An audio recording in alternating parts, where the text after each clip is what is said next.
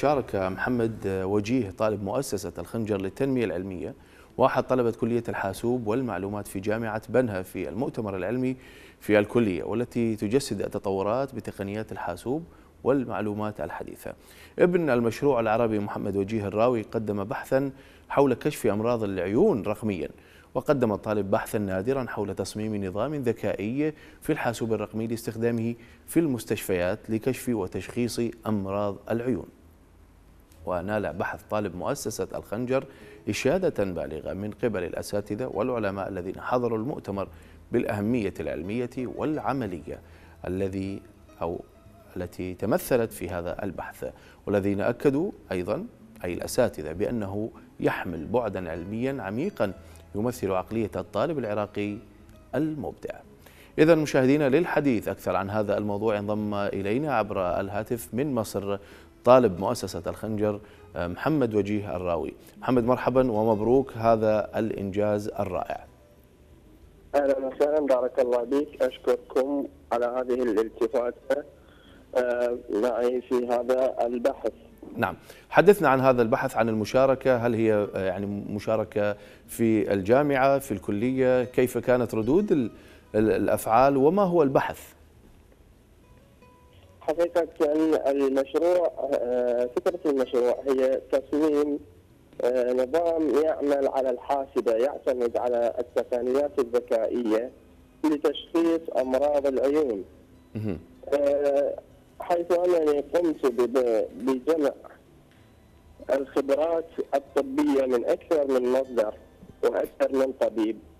لتكون آه، جميعها آه، تعمل على تشخيص المرض بتقنية ودقة عالية آه، بسرعة عالية كذلك.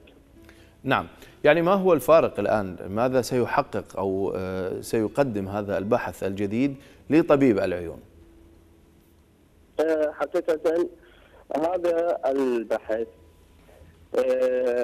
سيكون مساعدا للأطباء في المستشفيات التي تعاني من كثرة المراجعين.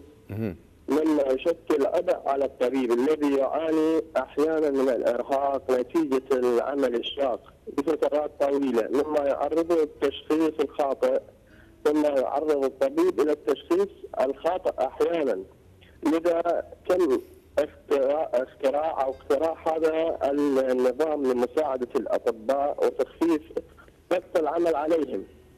كما يمكن استخدام هذا النظام للاستعانة ب- به للتدريب لتدريب الأطباء من الخريجين الجدد الذين لا لا يملكون الخبرة الكافية في تشخيص المرض من خلال ملاحظة الفحوصات والأعراض التي تنتاب المريض التي يتم إدخالها إلى النظام ونتيجة التشخيص التي يعطيها هذا النظام. جميل.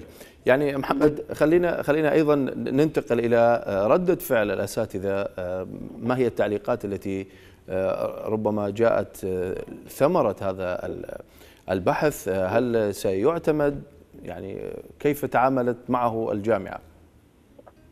آه، حقيقة أثنوا جميع الدكاترة على النظام ثناء جميل جميلا وتمت مناقشتي فيه وأبرز الأسئلة عن مثلا هل تم استخدامه أو هل تم تطبيقه بشكل عملي. وكانت إجابتي بنعم. وأن آه، الخطأ إن كانت هناك نسبة خطأ ولكن نسبة الخطأ كانت ضئيلة آه، نسبة آه، وقياسا ب- بين- بأنظم آه، شبيهة نعم. كانت موجودة. تم سؤالي عن القواعد المستخدمة في استنتاج النتائج. فكانت إجابتي عن القواعد المستخدمة هي تربط بين أكثر من آه، عرض نعم. حيث أنني آه، قمت بتقسيم الأعراض إلى عدة أقسام للوصول إلى المرض ال- الذي يعاني منه المريض بشكل أسرع وأدق. طيب محمد آه، ما هي إمكانية أنه نترجم بحثك هذا إلى أرض الواقع؟ هل سيكون بجهاز؟ يعني هل الإمكانية مثلا تكون آه، أنه بآلة حاسبة ولا يعني شلون ممكن أنه يرى النور هذا بحثك؟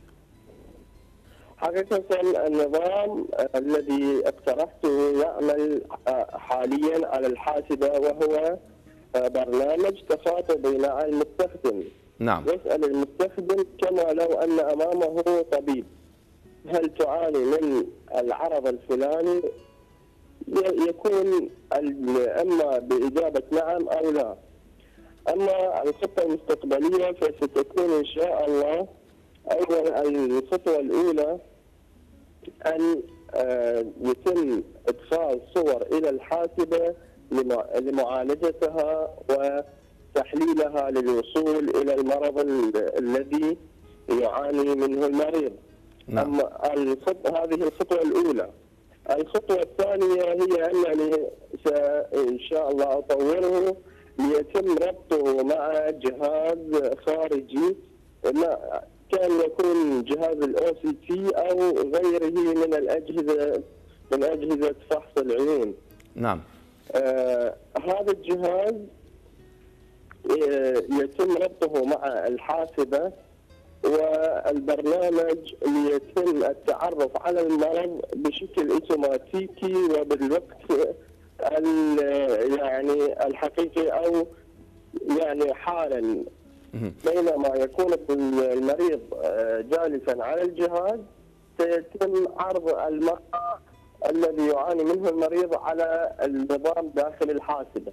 نعم، يعني باختصار باختصار أنه هذا الجهاز يسهل على طبيب العيون آه، الفحص الأولي آه، بإدخال المريض لإجابات عن الأعراض وعن ما يحدث له في مرض العين. فبالتالي نختصر 90% من من تشخيص المرض والعلاج آه، ونقدمه للطبيب بطريقة جدا سهلة وطريقة يعني سريعة.